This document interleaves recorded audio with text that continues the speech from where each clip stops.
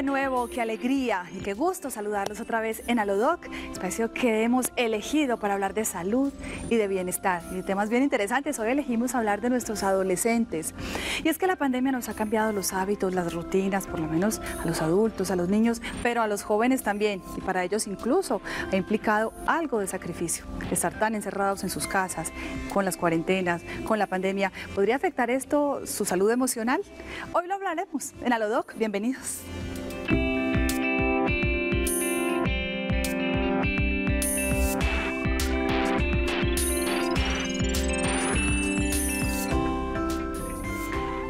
Nuestros jóvenes, el tema que elegimos para hablar hoy, que tanto ha afectado la pandemia, es la salud emocional de nuestros adolescentes que, pues, por causas obvias han tenido que permanecer mucho tiempo encerrados y en sus casas y en cuarentena. Pues vamos a analizar este tema y por eso tenemos una experta.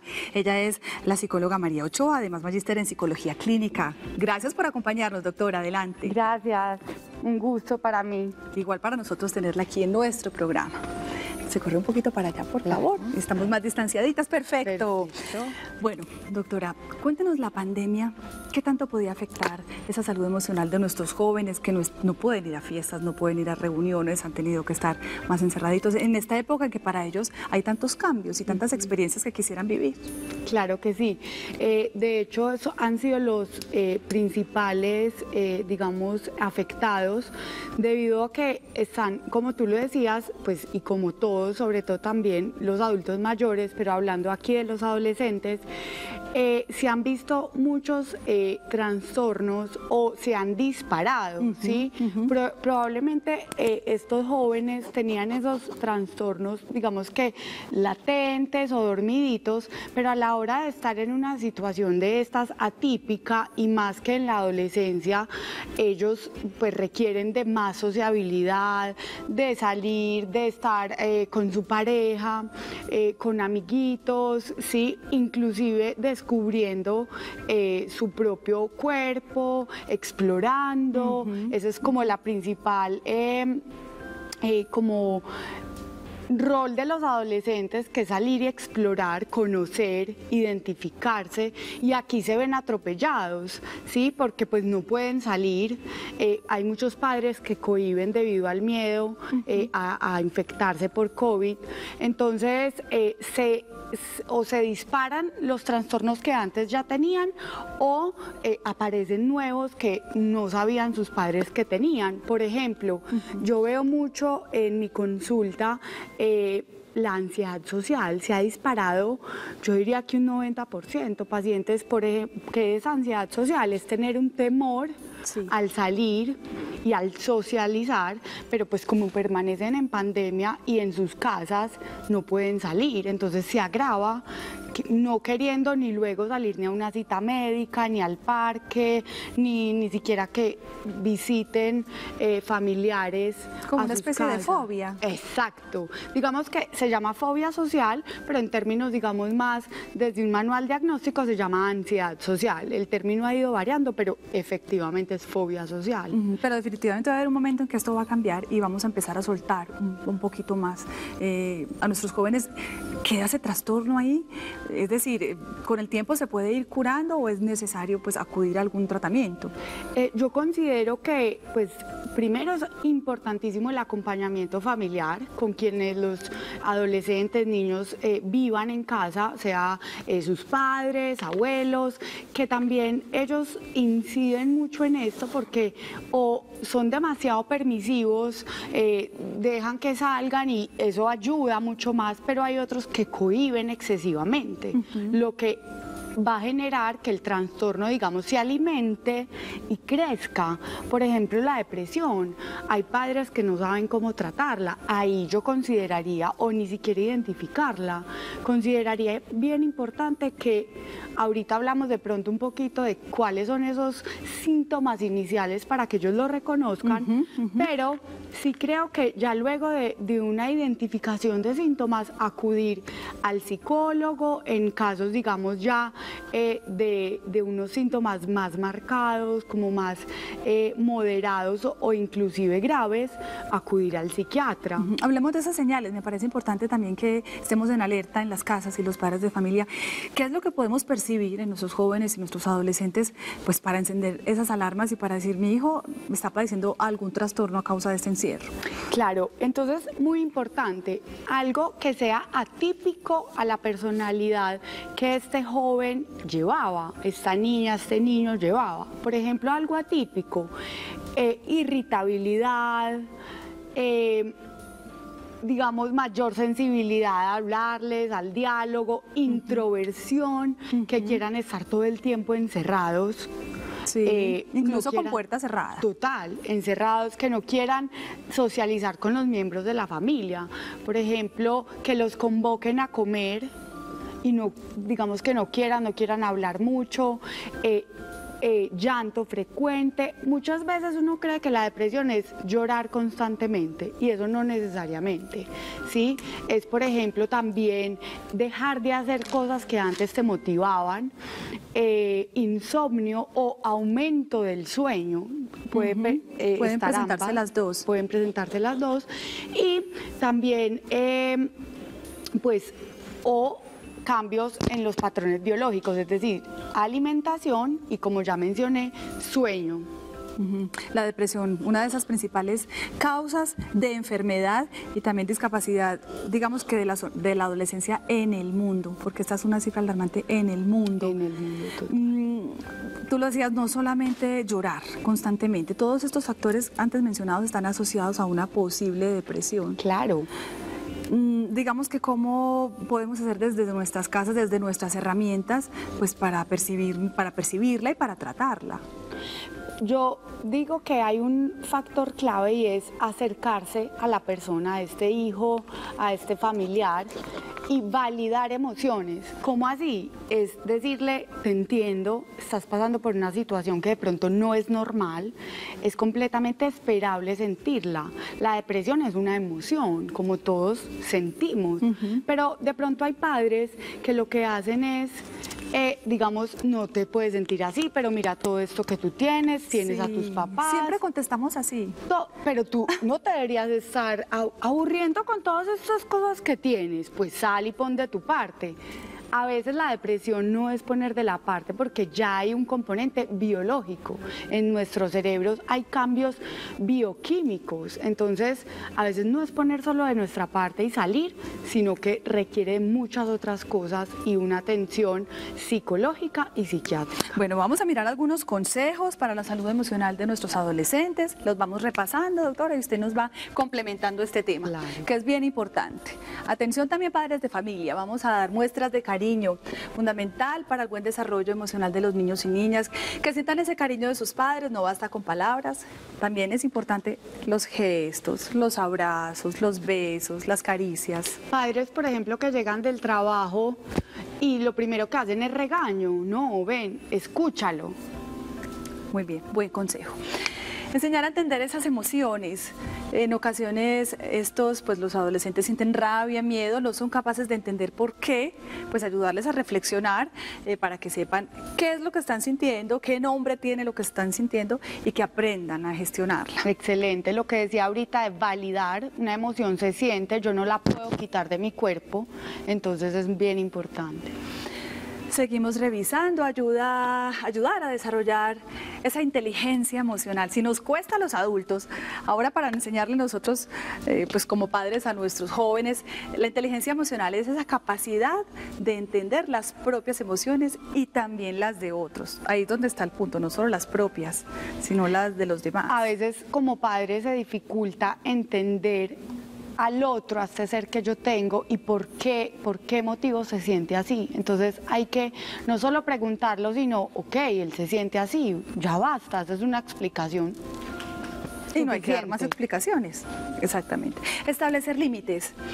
Aunque es fundamental entender las emociones que sienten nuestros hijos e hijas también, es ponerles límites y decirles que no. Digamos que ahorita nos sentimos un poco culpables precisamente porque han estado encerrados y se han perdido de experiencias y de situaciones y nos sentimos como en esa obligación o en esa necesidad de empezar a decirles que sí a todos los permisos. ¿Cómo hacer ese balance? Es un poco complicado. Total, y estoy de acuerdo en establecer límites porque también hay padres que por estar en casa no hay horarios, no hay hora de dormir, de los videojuegos, de la pantalla y creo que eso también genera unos cambios, como lo mencioné ahorita, químicos por toda esa segregación al ver estas pantallas y ahí también se empieza a desarrollar la depresión por el de estar solamente atento a una cosa. Entonces es importante también poner límite a este tipo de actividades que de pronto pueden desencadenarnos en un trastorno bien, bien grave para ellos. Escucharlos, escucharlos, ya usted no lo ha mencionado, los niños y niñas tienen sus propias opiniones, es esencial entonces escucharlos de manera activa, fijarnos en lo que dicen, cómo lo dicen, bueno, hacerles preguntas para que se sientan escuchados y comprendidos. Y creo que involucrarlos en el rol escolar, eh, eh, del hogar. Bueno, ¿y tú qué piensas de esto? ¿Tú qué piensas frente a esta decisión que vamos a tomar? Porque ellos hacen parte del hogar. Estar atento a los cambios en el comportamiento. Algunos de esos cambios también ya mencionados, por ejemplo, que no quieran asistir a la mesa en la que todos habitualmente nos sentamos a comer o a disfrutar de un buen momento, empiezan a aislarse, quieren permanecer solos con su habitación cerrada en un espacio, pues netamente pues introvertidos en sus cosas. Eh, bueno, pues atención a esta señal entonces, porque ahí podría estar en juego la autoestima, ¿no? Total, que es yo qué creo de mí misma, es básicamente la autoestima, de pronto me siento feo, me siento poco querido, me siento, eh, digamos, eh, menos, ¿cierto? Entonces esa es la autoestima, ¿qué creo de mí mismo? Bueno, y atento porque también esas pueden ir acompañadas de señales físicas que seguramente muchas veces nos cuesta detectarlas, porque los problemas de salud emocional también suelen ir acompañados de síntomas físicos, taquicardia, náuseas, tensión muscular, ¿qué otros factores podrían acompañar estos sentimientos? De pronto inclusive hay eh, adolescentes o niños que manifiestan dificultad para respirar. Eso no es a veces siempre COVID, puede ser también un ataque de pánico, ¿sí? Entonces eso es uno, llanto, otro síntoma físico, como lo decía ahorita, eh, puede ser inclusive eh, querer estar dormido todo el tiempo, entonces hay que estar atento a eso. Importantísimo mantener la calma aunque es complicado, es esencial mantener la calma. Los padres que estamos un poco angustiados con este tema y que les transmitimos todo a nuestros niños, más estrés, más depresión, más ansiedad con todo este tema que estamos viviendo, pues debemos hacerlo y sacar fuerzas de donde no las hay y tener más conciencia de lo que está sucediendo para evitar pasarles toda esta información. Pasar tiempo con hijos e hijas, esto también digamos que se nos ha complicado un poco, sobre todo cuando tenemos tantas actividades en el día a día. No solo somos madres, sino que también trabajamos, sino que también tenemos roles de esposa, sino, bueno, digamos que es mucha la actividad y la sobrecarga que algunas tenemos o que algunos padres de familia tienen, pero es indispensable dedicarles tiempo. Y yo los invitaría papás o cuidadores a que también se hagan un trabajo interno si requieren de psicología, un apoyo, hablar, porque sé que se sienten muy cargados con todas estas eh, como consejos y sugerencias que ustedes son los principales también que, que empiezan como a drenar y a generar todo esto e, en, estos chicos. Bueno, se lo ha dicho doctora y aquí también lo tenemos como un punto esencial en este acompañamiento, es acudir al psicólogo, no solamente para ellos, para nosotros como orientadores, porque también estamos pasando por lo mismo. Eh, bueno, en caso de considerarlo, generar confianza. Eh, si trabajamos en ambientes que los que tu hijo o hijo se sientan cómodos, generaremos confianza, de manera que si sienten un problema, pues ellos lo contarán inmediatamente. Es hacerlos sentir que están en el ambiente adecuado, con la tranquilidad del núcleo familiar, del entorno, de lo que los rodea. Y preparar este espacio que genere eso, sí, una habitación cómoda, confortable, su estudio donde hacen clases virtuales también hacerlo de esa manera, con luz, eh, buena, eh, digamos, ambientación que entre y salga al aire. Bueno, vamos a hacer una pequeña pausa y ya regresamos en Alodoc para seguir hablando de la salud emocional de nuestros jóvenes. Ya volvemos.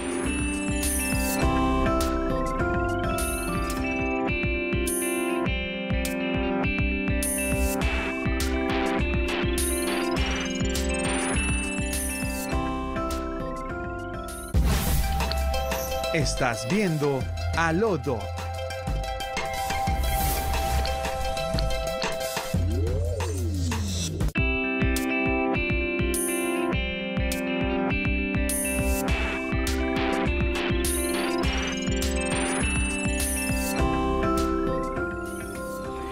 Continuamos en Alodoc, estamos hablando de la salud emocional de nuestros adolescentes con la doctora psicóloga María Ochoa, especialista en estos temas precisamente, doctora. No abordar estos temas de trastornos mentales, no ponerles el cuidado suficiente y no tratarlos en el debido momento puede generar trastornos en la adultez. ¿Podrían quedar estos jóvenes marcados para un futuro? Claro que sí, efectivamente un trastorno primero no diagnosticado a tiempo puede, digamos que, presentar alteraciones mayores en la adultez o que el problema se magnifique, ¿sí? O sea grave, por ejemplo, algo que empezó con tristeza eh, y ánimo bajo, eh, se puede eh, desarrollar más adelante en depresión. O por ejemplo, los niños o adolescentes con déficit de atención, este llamado TDAH, en la adultez se convierte en una ansiedad. ¿Sí? Entonces creo que es bien importante detectarlo a tiempo. Si vemos algún cambio sutil en el comportamiento, emprender alarmas. Dice la OMS que los, los trastornos mentales comienzan desde los 14 años y que la mayoría de los casos no se detectan ni son tratados. ¿Cómo se tratan esos trastornos? Digamos que estamos hablando de un panorama bien amplio porque hay muchos tipos de trastornos. Yo me atrevería a decir que hay sintomatología, es decir, el trastorno empieza a presentar eh, algunos signos de alarma, inclusive antes, ¿sí? desde más pequeños, pero solo se puede clasificar como trastorno a esta edad que decías, y eso ya pues va dependiendo. Pero eh, me parece que, que, sí, que en esta edad... Eh, 14 años alrededor, hay que prestarle aún más eh, cuidado. Y no solamente podemos hablar de lo que hemos venido hablando, que es ansiedad social, eh, depresión, sino que hay muchos otros trastornos, eh, como la depresión también, que ya lo hemos mencionado la irritabilidad o trastorno explosivo intermitente, niños que tiran, que golpean, pero pues digamos que de una manera muy impulsiva. Bueno, yo le invito a contestar inquietudes que tenemos de nuestros televidentes y que nos envían a Lodoc. Adelante. Ah, mi nombre es Adriana Quintana Vázquez. Quiero preguntar, ¿cómo pueden compensar los jóvenes la ansiedad de no salir a fiestas y reuniones? Gracias por preguntar. ¿Cómo los podemos compensar en casa? Todavía no es momento de estar mucho tiempo en la calle y de dar ciertos permisos. Claro que sí. Yo considero que es bien importante también que los eh, jóvenes interactúen así sea con pocos eh, amigos en la unidad, en espacios abiertos, generar ahora estas reuniones virtuales que están, eh, digamos que bien, bien activas y atractivas para ellos. Entonces creo que podría ser un buen momento para para, utilizar estos medios, siempre acompañado obviamente de sus padres y la supervisión constante. Bien, tenemos otra pregunta, vamos a resolverla ya mismo. Hola, mi nombre es Lutari Garzón. Eh, tengo una pregunta. Eh, ¿se eh, ¿Podría afectarse la salud mental de los niños cuando sean adultos? Sí, adelante. Eh, ya lo hemos mencionado, pero claro, o sea, esto debe ser tratado, debe ser, eh, digamos que, mediado y gestionado ahora para que en la adultez no vaya a ser una falla mayor o genere cambios bioquímicos mayores, que ya toque, digamos, una medicación eh, de por vida, porque hay una falla ya en nuestro cerebro y cambios cerebrales donde en la adolescencia empiezan a haber esos cambios y no paran solamente hay cambios más o menos, podríamos decir que hasta, lo, hasta la juventud, 28, 25 años. Entonces estamos en un proceso de cambio del cerebro todo el tiempo, donde estamos a tiempo para hacer y parar. Doctora, ¿en qué casos específicamente ya es necesario acudir a una medicación? Eh, como explicaba ahorita, eh, cuando los síntomas ya son exagerados o muy exacerbados. Eh, un niño que ya no quiere ir a estudiar, que no quiera comer, que lo que antes disfrutaba, yo por ejemplo les digo a, mis pacientes, vamos a suponer que nos podemos ir ya para Santa Fe de Antioquia, una piscina, rico con tus amigos, vamos, pues tú irías. Pues me da igual. Digamos que eso es un algo que no se espera esa edad, antes que digan que sí. Entonces ahí ya hay que tener atención, pero no solo psiquiatría. Bien importante hacer la mezcla. Psicología, donde sugiero terapia cognitivo-conductual, que es la que ha mostrado mayor eficiencia y eficacia para la depresión, y psiquiatría. Bueno, doctora, factores como el alcohol, como las drogas que llegan en este momento de la vida, pues podrían permearse de alguna manera eh, en nuestros jóvenes adolescentes. También ¿Cómo pueden afectar esos trastornos o cómo los pueden pues, magnificar? sí.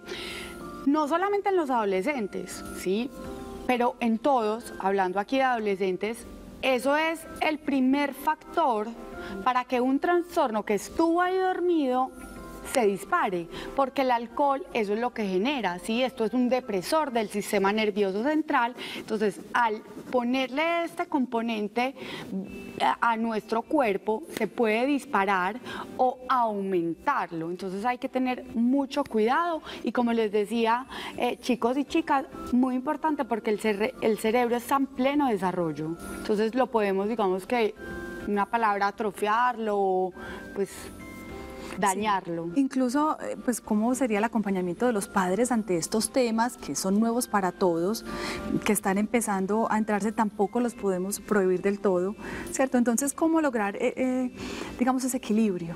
Claro, yo les sugiero a todos que, pues, siempre el, el, los las medidas eh, de bioseguridad que han usado, tapabocas, distanciamiento, pero no el coartar la socialización, tampoco del todo. ¿sí? Yo tenía unos pacientes que no dejaban salir a, esta joven durante mucho tiempo y eso atropella con el desarrollo emocional eh, de, de estos chiquitos o adolescentes. Entonces, tampoco es no salir, tomar medidas, ¿sí? Y, y también revisar con qué espacio vivo. Si yo o con qué miembros. Si yo tengo un adulto mayor en casa, pues de pronto ahí juega un poco más, pero si no hay mucho riesgo eh, dentro de la casa, son padres sanos, jóvenes, pues mira que el riesgo eh, tampoco es demasiado, ¿sí? Entonces puedo permitir un poco más allí. Bueno, pues doctora, gracias por todos esos consejos. Ser entonces un poco más flexibles, mantener la calma, mucho acompañamiento sobre todo y mucha escucha. Y validar emociones. Validar esas emociones. Buen punto, doctora. Gracias por acompañarnos, por supuesto a ustedes. Nos vemos en Alodoc en otro programa.